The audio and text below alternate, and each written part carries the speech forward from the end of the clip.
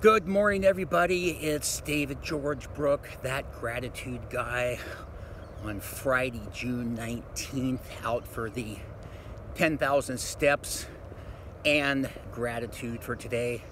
As you can see, complete with the sunglasses.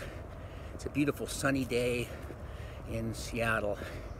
And I think today think, what can we be grateful today that we haven't thought about in the past? How about our relatives? How about some of those people that maybe don't fall into one of those classic categories, but a aunt or uncle or brother-in-law, sister-in-law, somebody like that that's been helpful to you and been supportive of you through the years and so forth.